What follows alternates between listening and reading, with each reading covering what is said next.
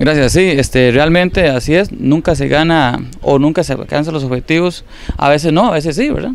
Vean, eh, a nosotros nos pasó algo muy curioso. Veníamos, nos quedamos parados, las camisetas de representantes de los chiquillos no llegaron, tuvimos que hacer otras. Hemos pasado por circunstancias que, pues, ellos tal vez les, les afectaron, pero como ustedes son jóvenes, ellos vienen entrando todos a la categoría D. Este equipo el año pasado estuvo en final nacional C, este año es el mismo equipo que está entrando a categoría D y tiene el otro año. Entonces, pues tenemos la fe de que eh, siga el proceso, de que ellos continúen.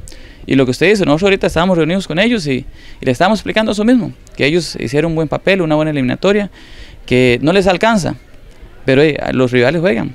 Hoy el Colegio Bolio jugó muy bien, realmente jugó muy bien. Y pues así son las, las circunstancias, ¿verdad? Y es fútbol, unos ganan, otros pierden. Pero sí, tiene toda la razón. Y eso es lo que le estábamos explicando a los chiquillos, realmente que, que todo, todo se da por alguna razón. Dios sabe por qué hace las cosas. Y todo es un proceso y eso es importante porque eh, la sociedad hoy en día nos, nos, quiere meter todo así como que todo se expresa y no funciona así. Profe, vi a estos muchachos, este, a pesar de que pues el resultado cuanto marcador no se da, los vi muy aguerridos. ¿no? Usted no los vio a ellos parados eh, ahí eh, esperando un pase, marcan bien, corren bien, pues la, la, pulsean bastante como decimos y yo pienso que eso es importante porque tienen la actitud correcta para hacer las cosas bien.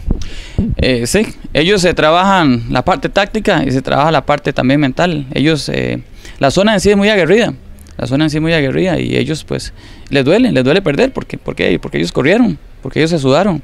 Entonces pues ese dolor es entendible para ellos. Pero hay que hacerles ver que, que a veces no se puede. Hay que aceptar también cuando el rival juega mejor que uno. Y eso es lo que pasó hoy.